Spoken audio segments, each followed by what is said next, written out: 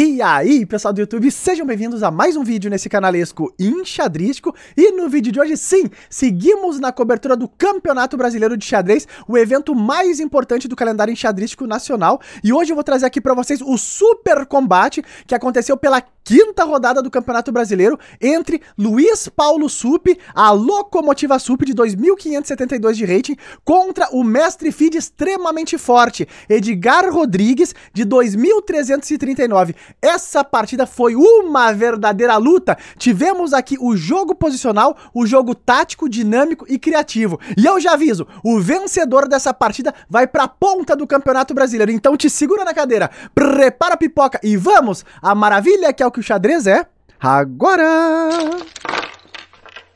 Então, pessoal, aqui estamos nós. E de brancas estava a locomotiva Sup, Luiz Paulo Sup, contra o mestre feed Edgar Rodrigues, um talento do nosso xadrez nacional. E o Sup começa a partida com o peão do rei E4 foi jogado, E6 escolhendo jogar aqui a francesinho Edgar, hein? Olha como é que segue a partida. D4 jogado pelo Sup D5, E5 jogando a variante do avanço, C5 agora visando quebrar aqui o ponto de D4, super temático da francesa, C3 consolidando o centro, cavalo em C6, cavalo F3, bispo em D7 e bispo E2, tudo normal dentro da teoria. Seguiu agora a partida com cavalo de G E7, Rock e nessa posição cavalo C8. Opa, opa! O que que tá acontecendo aqui? O Edgar aqui tá jogando uma ideia diferente da francesa. Normalmente esse cavalo vem para casa de F5 para começar a apertar aqui o ponto de D4, mas nessa posição o Edgar tá levando o cavalo para casa de B6. E vamos ver como é que segue a partida, hein? Uma ideia diferente. Foi jogado aqui o lance torre em E1 pelo Luiz Paulo Sup, cavalo em B6 foi jogado, D por C5 tomando agora o peão, bispo por C5 e o lance bispo em D3 3 e observem que agora o Sup já fica de olho lá no peãozinho de H7. Se as pretas fizerem o rock aqui, seria um erro muito grave, tá?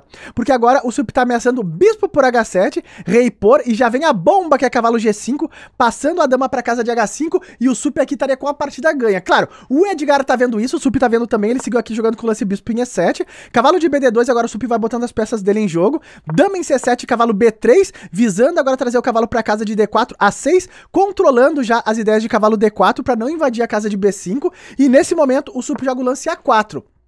E aqui não é tão claro como que as pretas vão proteger o rei. Então a gente não sabe se as pretas vão fazer o rock curto, se o Edgar vai fazer o rock longo. Segue a luta que é o xadrez agora com o lance H6, controlando o G5. Cavalo de BD4, botando o cavalo num posto avançado. Foi jogado então o lance cavalo em A7. E a ideia que aparenta ter esse lance é que o Edgar agora quer que a dama controle a casa de C4, talvez para jogar um lance como o cavalo C4. Seguiu a partida agora com o lance H4. O Sup já começa a movimentar e mobilizar aqui a ala do rei. Bispo em C6 6 foi jogado aqui pelo Edgar, melhorando a posição do bispo dele. E agora o lance H5. Esse é um lance muito, muito incômodo do Sup. Por quê? Observem que agora o, o Sup tá fixando aqui o peão na casa de G7, ou seja, agora as pretas não conseguem mais movimentar o peão de G, porque o peão de H5 ameaça a captura, peão por, tá caindo aqui, tá caindo peão de E6 também, então não tá tão fácil de jogar uma ruptura típica que o, que o jogador de francês acaba fazendo em algum momento, que seria a ruptura libertadora do lance F6. Nesse momento, o Sup tá limitando essa ideia. Segue a partida agora pela quinta rodada com o lance cavalo em D7, foi jogado então o lance bispo C2 de Luiz Paulo Sup B6, agora preparando para voltar o bispo e talvez trazer o cavalo aqui para casa de C6. O lance B6 também apoia o lance cavalo em C5, aqui o Edgar tá manobrando as peças dele, o Sup desenvolve a última peça que faltava, bispo em F4, controlando aqui o peão avançado no ponto de E5. Bispo em B7 foi jogado bispo G3. Momento de manobras, a posição tem o centro fechado, que é típico da francesa. Cavalo em C5 jogado pelo Edgar, mandando o cavalo para um posto avançado. E aqui o Sup de novo. Ele começa a limitar o lance das pretas para que o Edgar não consiga soltar o jogo dele. Observe que o Edgar aqui tem uma ideia de jogar aqui o lance cavalo em E4. O que, é que o Sup fez? Disse, não, Jogou cavalo D2, segurando essa casa. E aqui as pretas começam a ficar um pouco sem planos, porque tá muito trancado. E como eu falei, não consegue fazer a ruptura com F6. Foi jogado agora um lance cavalo em C6, trazendo o cavalo pro jogo. Dama em G4 e opa, opa, opa. O Sup agora já começa a criar ameaças graves aqui na posição da, das pretas. O peão de G7 tá caindo. Nesse momento aqui o Edgar ele defendeu com o lance bispo F8, mas observem que o bispo fica numa casa muito passiva e também dificulta agora o desenvolvimento da torre de H8. A posição já tá ficando um pouquinho problemática. Foi jogado o lance torre de AC1, o Sup vai trazendo a torre dele pro jogo. Cavalo em E7 jogado pelo Edgar, pelo Edgar aqui, talvez de olho aqui na casa de F5. Foi jogado então B4 e o Sup continua ganhando espaço na lada dama, lutando pelo título de, do Campeonato Brasileiro, hein? Foi jogado agora o lance cavalo em E4 e essa é uma decisão muito, muito interessante do Edgar.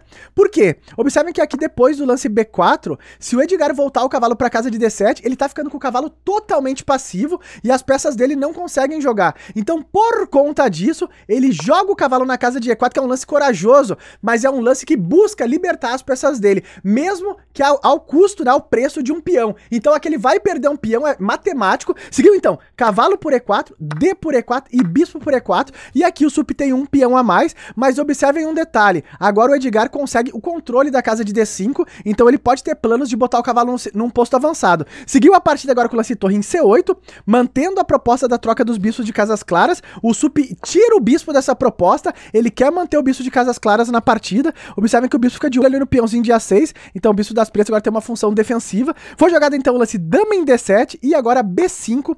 E esse é outro lance de bloqueio muito interessante do Sup, porque aqui ele tá fixando, né, a estrutura de peões na ala da dama das pretas. Foi jogado A5 e uma das ideias do Sup, logo nos próximos lances, vai ser preparar a posição para controlar a única casa libertadora, que é a casa de, do cavalo D5 aqui. Então ele vai preparar um C4 e vai tirar também essa casa das pretas. Olha como é que seguiu a partida. Foi jogado agora o lance, o lance torre de E D1, já colocando a torre aqui na cara da dama.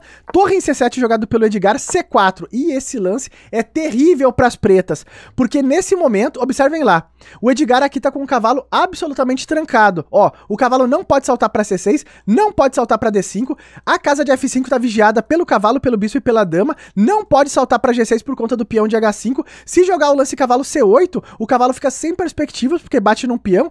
Aqui em D6 está controlado. E basicamente com esse cavalo trancado na casa de E7, o Edgar não consegue desenvolver o bispo de F8, o bispo de F8 não saindo, não joga também a torre de H8, e o rei do Edgar tá no centro. Então algo de errado não tá certo aqui. O Sup tá amassando a posição das pretas, de modo que as pretas não consigam liber libertar o jogo. Seguiu agora o lance dama em C8, as pretas têm um dilema aqui de como ativar as peças, bispo em F4, e agora o Sup vai mandar o bispo pra casa de E3, para ficar de olho ali no peãozinho da casa de B6, que pode ser um alvo também. Seguiu agora o lance torre em D7, lutando aqui pela coluna D, abrindo um ataque no cavalo, bispo em E3 defendendo, e agora o lance dama em C7. F4 jogado pelo Sup controlando a ameaça das pretas de tomar o peão central, e nessa posição, cavalo em C8 é o lance do Edgar. Por que, Rafaelzinho? Observem que o cavalo aqui, ele não tem perspectivas de voltar direito pro jogo, porém, contudo, entretanto, o Edgar tem uma ideia bem concreta aqui, qual?